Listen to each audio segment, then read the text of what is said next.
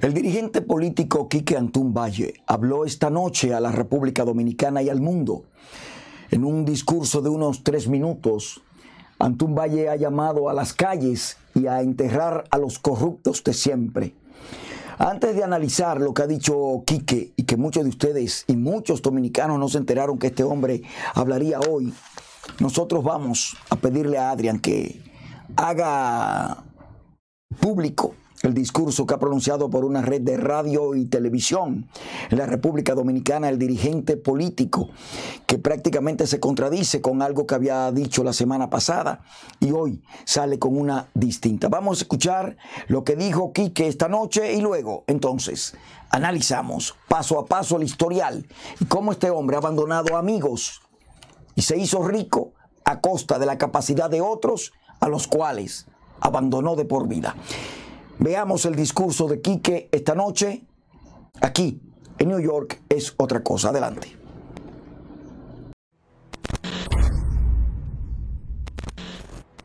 Todos los que entiendan esta bandera como símbolo de corrupción también entenderán el motivo de esta grabación.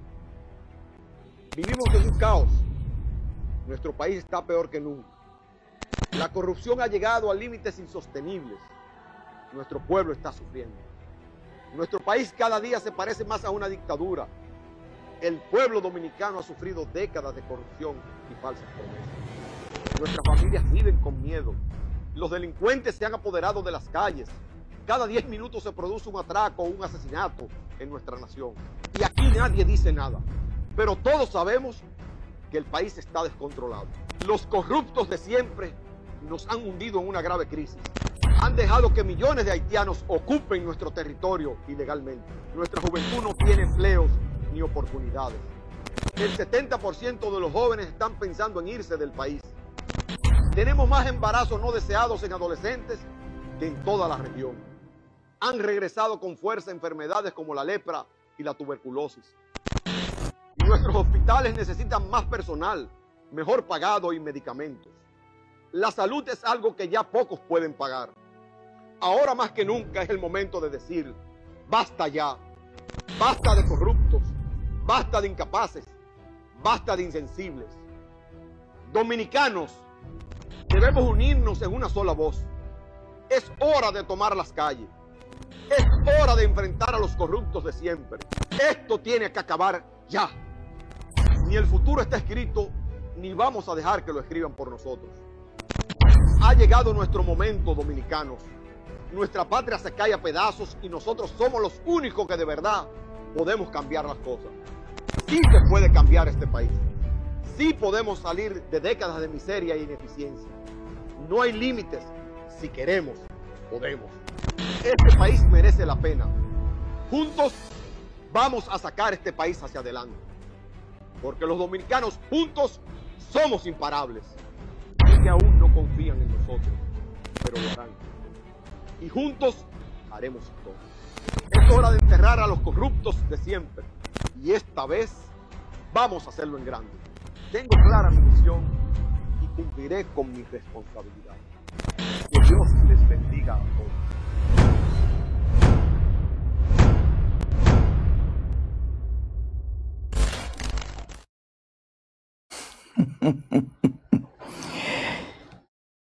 Políticos hipócritas farsantes. Ese es uno de ellos. Habla de corrupción, habla de los problemas en esos tres minutos del país. Sin embargo, hace unos días le hacía coro a un sinvergüenza del país que es Hipólito Mejía para habilitar a Danilo Medina. Un hombre que no sabe ni quiere trabajar en equipo. Que no ha querido darle forma al partido reformista porque se ha beneficiado de la política y del apellido de su padre. El mismo personaje que en el año 1974 fue llevado de la mano de un grupo de muchachos a los cuales abandonó Ese Quique Antún se le olvidó Máximo Padilla, Santos Miese, David y Rafael Balcácer, Lorenzo Bencosme, Nelson Ramírez, Sergio Acevedo, Ismael Francisco Peña, Blondi Collado, Miguel Ángel de Cans Núñez, Juan Rodríguez Juanchi, Catato, Rodolfo de la Cruz, Lamberto Reyes, Francisco Sánchez, Juan Neris Ramos, Bertico Suero, que fueron los muchachos que en el 74 lo llevaron de la mano por un pedido de Papi Estrella. Y Quique cuando llegó a la cima, se olvidó de este grupo de jóvenes que acabo yo de mencionar, muchos de ellos olvidados en el tiempo, famélicos en sus pueblos, y no solamente eso, que él nunca, nunca le ha tendido la mano a estos muchachos. Y ahora viene privando primero en un muchachito, un hombre de 70 años, queriendo imitar el estilo del hoy presidente de El Salvador, Nayib Bukele. No, así no, campeón. Porque a usted se le olvida que en la mano de su hermano, manejado por usted, Kike Antún, fracasó Dominicana de Aviación. Si hoy la República Dominicana no tiene una línea aérea, se debe a su hermano y a su política, Kikantún. A usted se le olvida que siendo administrador de la Lotería Nacional Dominicana, su padre, usted manejó a su padre y la lotería entró en quiebra, en coordinación con un haitiano que le decían Macún. ¿Se recuerda de eso? Con el invento del fracatán. No, Quique, a nosotros no se nos ha olvidado esa parte. Como no se nos ha olvidado una serie de problemas que pasaron. Por ejemplo, usted iba a recibir 28.7 millones con el 100% de los beneficios por un problema de un banco en Dominicana. Se le olvidó. Se lo voy a refrescar. De acuerdo con el estudio actuarial del Plan Complementario de Pensiones y Jubilaciones de los empleados del Banco Nacional de la Vivienda y la Producción, realizado por el consultor Goris Quesada en marzo del 2007, el gerente Federico Antún Valle, usted mismo, había que pagar la suma de 28.7 millones de pesos si la liquidación del mismo se producía con el 100% de los beneficios al 28 de febrero del 2013. En el informe con el estudio del pasivo actual del plan de pensiones fue recibido y revisado, se encuentran explicaciones financieras técnicas y jurídicas, además de los cálculos del procedimiento de liquidación con el 100% de los beneficios, el 75% y el 50%. Goris Quesada dice que el Banco Nacional de la Vivienda, con Quique Antún como gerente, decidió en el 2011 restablecer el plan complementario de pensiones, tomando en cuenta que como consecuencia de la ley 8701, la entidad había liquidado el viejo plan de pensiones que tenía y que había sido incorporado de acuerdo con la ley 520 en 1987. Fue en octubre, señor eh, Antún Valle, del 2012, cuando el presidente Danilo Medina emitió el decreto 61612 que prohíbe los planes de pensiones complementarios cuando el BNB decidió liquidar otra vez el suyo, pasando todos sus compromisos al Banco Nacional de la Vivienda. Cuando se decidió eliminar el plan, había 71 personas activas, las cuales poseían aportes ascendentes a 33.8 millones de pesos. El pasivo actuarial asciende a 476.2 millones de pesos. Si se pagaba el 100% de las personas, con el 75% de las pensiones, el pasivo actuarial era de 357.2 millones de pesos. Y con el 50%, el pasivo actuarial era de 238.1 millón de pesos. Las reservas netas acumuladas del plan complementario de pensiones del BNB eran al momento del estudio de Goris Quesada de 217.1 millones de pesos y todos los beneficiarios de ese plan que usted se inventó eran reformistas y aliados suyos. Usted nunca buscó a ese grupo que yo le he mencionado Usted viene a Nueva York y busca Máximo Padilla, pero usted no va al fondo de la realidad que está viviendo Máximo Padilla, que está viviendo Santo Mieses, que está viviendo David y Rafael Balcácer. Nelson Ramírez, es tanto lo que le estoy diciendo, que hace unos días David Balcácer hizo una propuesta en las redes que usted cogió como buena y válida. Y cuando se sentó tranquilo, usted dejó que eso se apagara, porque no le conviene encontrarse con este grupo de muchachos que lo hicieron a usted y que usted no tuvo ni siquiera el valor ni la delicadeza de dar la entrada a esos compatriotas suyos que lo llevaban de la mano en el 74. De la mano lo llevaban para que usted fuera síndico de la capital. Se le olvidó eso, señor Quique Antún. Pero hay otra cosa más. Que aquí que parece que se le olvidó. ¿Eh? Aquí que parece que se le olvidó.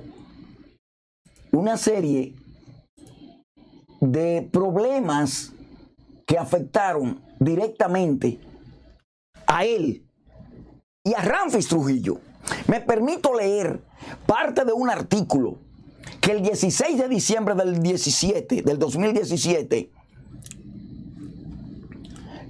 del 17, él expuso, pero que lo registra Miguel Espaillat Grullón en el periódico almomento.net dice, el señor Espaillat Grullón. Federico Augusto Quique Antún Valle es un petromacorizano reformista de toda la vida, al igual que lo fue su padre, el señor Federico Antún Abut, de origen libanés. Quique, político e ingeniero, ha sido candidato presidencial de la República por el Partido Reformista Social Cristiano y hoy funge como presidente de ese partido. Sobre el Quique Antún, político, reformista y exfuncionario del Banco Nacional de la Vivienda, varios diarios nacionales a partir del 2004 reseñaron lo siguiente. Cuando Quique Antún asumió la gerencia general del Banco de la Vivienda, encontró una nómina de 9.5 millones de pesos al mes, pero durante su gestión fue llevada a 50 millones sin que hubiera aumentado la cartera de préstamos. Durante esta gestión, el Banco Nacional de la Vivienda llegó a tener 33 subgerentes generales, 30 más que los encontrados, que eran tres, tal como manda la ley que regula esa entidad bancaria. Y ahí venía la corrupción caminando, señor Antún Valle. La historia de la gerencia de Quique Antún en el Banco Nacional de la Vivienda revela que estuvo dedicada más a labores sociopolíticas que a las bancarias. Muchas donaciones, asistencia social y un consejo de administración de altos dirigentes reformistas fueron las características de su gestión.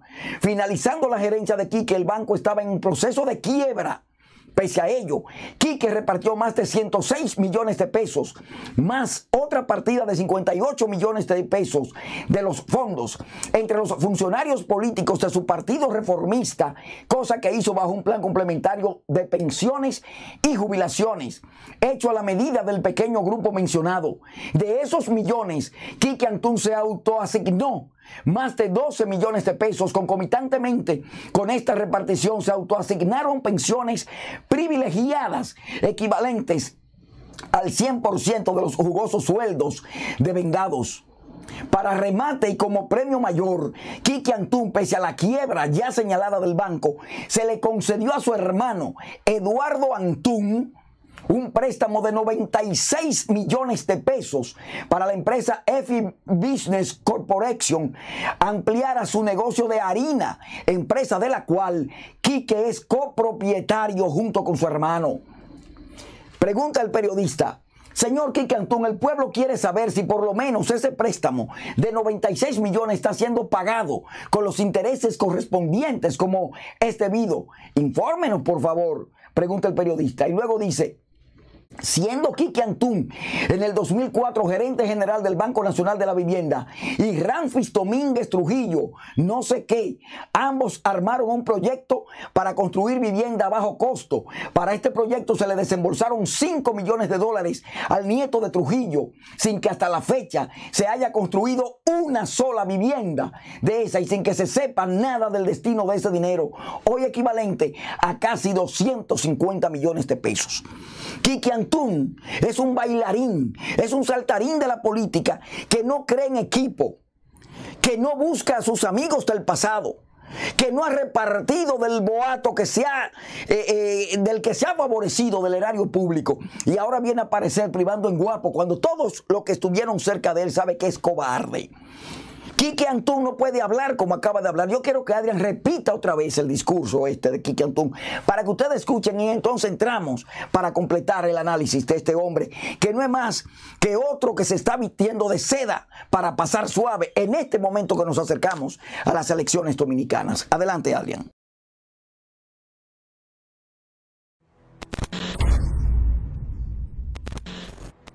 Todos los que entiendan esta bandera como símbolo de corrupción también entenderán el motivo de esta grabación. Vivimos en un caos. Nuestro país está peor que nunca. La corrupción ha llegado a límites insostenibles. Nuestro pueblo está sufriendo. Nuestro país cada día se parece más a una dictadura. El pueblo dominicano ha sufrido décadas de corrupción y falsas promesas. Nuestras familias viven con miedo. Los delincuentes se han apoderado de las calles.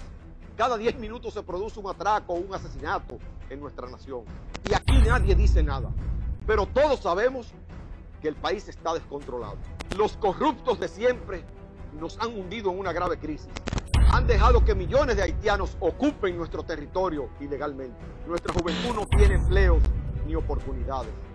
El 70% de los jóvenes están pensando en irse del país. Tenemos más embarazos no deseados en adolescentes que en toda la región han regresado con fuerza enfermedades como la lepra y la tuberculosis. nuestros hospitales necesitan más personal, mejor pagado y medicamentos. La salud es algo que ya pocos pueden pagar. Ahora más que nunca es el momento de decir, basta ya, basta de corruptos, basta de incapaces, basta de insensibles. Dominicanos, debemos unirnos en una sola voz. Es hora de tomar las calles. Es hora de enfrentar a los corruptos de siempre. Esto tiene que acabar ya. Ni el futuro está escrito, ni vamos a dejar que lo escriban por nosotros. Ha llegado nuestro momento, dominicanos. Nuestra patria se cae a pedazos y nosotros somos los únicos que de verdad podemos cambiar las cosas. Sí se puede cambiar este país. Sí podemos salir de décadas de miseria e ineficiencia. No hay límites. Si queremos, podemos. Este país merece la pena. Juntos vamos a sacar este país hacia adelante. Porque los dominicanos juntos somos imparables. Y que aún no confían en nosotros, pero lo harán. Y juntos haremos todo. Es hora de enterrar a los corruptos de siempre. Y esta vez vamos a hacerlo en grande.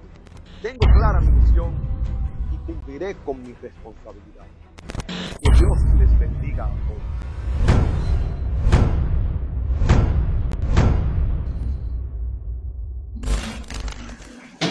Ustedes, ustedes tienen la última palabra. Lo primero es que en televisión de noche usted no puede salir con unos lentes. ¿Qué oculta? Déjese ver los ojos. Unos lentes oscuros, privando a un muchachito. No, no, no, Quique. Ese discurso no va porque no es honesto. Ese discurso no va porque no es leal. Ese discurso no va porque usted, Quique Antún Valle, no cree en trabajo en equipo. Y lo demuestra Nueva York. Usted dejó en, en las elecciones pasadas a Carlos Gómez y a Cirilo eh, Moronta abandonados a su suerte. Y como el otro grupo, Leonel, el PRD, el PRM, también vinieron a buscar el botín en dólares para ofertarle a estos muchachos posiciones que usted sabía que no iban a, lograr. Y no solamente eso, dejó a Carlos Gómez abandonado y dejó a Cirilo y en este preciso momento. Usted no le ha dado seguimiento a la única pieza que le queda en Nueva York, que es Elida Almonte, porque no ha valorado la capacidad de trabajo de esta muchacha.